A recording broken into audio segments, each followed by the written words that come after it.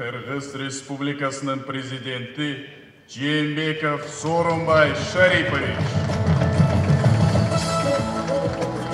кыргыз эли 1991 жылы өзүнүн саясий көз карандысыздыгына жетти бирок кылым караткан элибиз өткөн кылымдарда мамлекеттүүлүккө ээ болуп башка державалар менен тең укуктуу дипломатиялык мамиле түзө билгендиги карым катнаштар тууралуу айрым тарых булактарында жазылып калган өлкөбүздүн тышкы саясаты үчүн үстүбүздөгү жыл маанилүү болду. Кыргыз республикасынын президенти сооронбай шарипович жээнбеков тышкы саясаттын жаңы концепциясын бекитти. Ошону менен бирге акыркы он эки жылдан бери биринчи жолу президенттин төралыгы алдында кыргыз республикасынын элчилеринин жыйыны болуп өттү. Акыркы эки жылдын аралыгында прагматикалык тең салмактуу жана ыраттуу тышкы саясатыбыздын негизинде эл аралык өнөктөштүрүүбүз менен мамилебиз бекемделип кызматташтыгыбыз өнүгүүдө мисалы 2018 жылдан бүгүнкү күнгө чейинки аралыкта эки тараптуу жана ар тараптуу форматтарда жогорку жана эң жогорку деңгээлдердеги 174 иш чара жана иш сапарлары болуп өттү. Дипломатиялык мамилелерди кеңейтүү иштерди да улантылууда 2017-2019 жылдары Кыргыз Республикасы кошумча дагы 18 чет мамлекет менен дипломатиялык мамилесин түздү. Мындан тышкары президенттин тапшырмасына ылайык кошумча элчиликтерди жана консулдук бөлүмдөрдү ачуу иштерди жүргүзүлүп атат.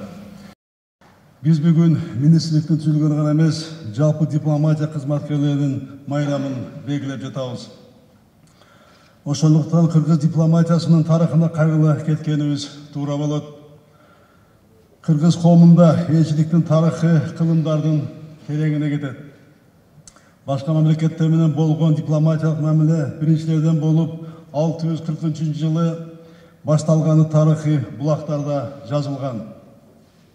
Андан кийин замандарда улуу манас бабабыздын мезгилинде кыргыздар коңшу элдер менен достук мамиле түзгөнгө аракеттенип келгени белгилүү манас эпосунда азыр колдонуп келе жаткан элчи элчилик тилмеш деген түшүнүктөр бар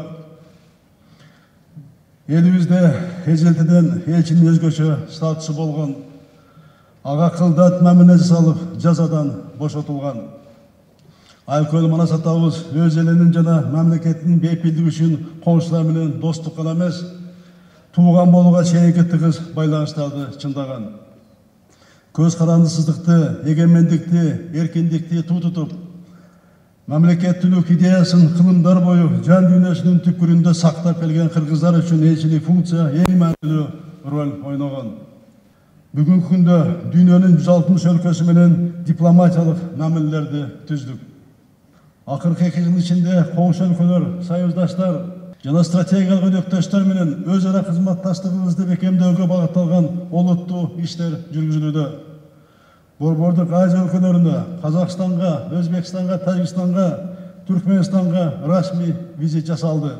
Россияга кытайга туркияга евросоюзга болгон мамлекеттик жана расмий сапарлар позитивдүү натыйжаларын берди россия федерациясы биздин союздашыбыз жана стратегиялык өнөктөшүбүз эмдиги жылы биз кыргыз республикасынын россия федерациясында жана россиянын кыргызстанда жылдарын өткөрөбүз.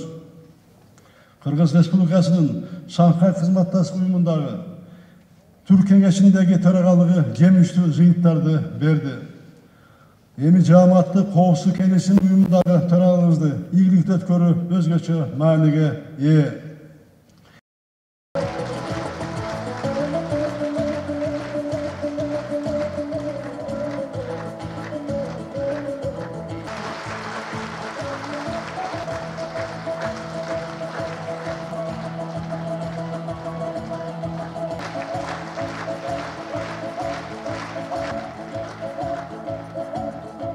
мамлекеттик дипломатиялык сервис ишканасынын башкы директорунун кеңешчиси биз үчүн тышкы саясат деген биздин өзүбүздүн мына ситуацияга жараша болот да.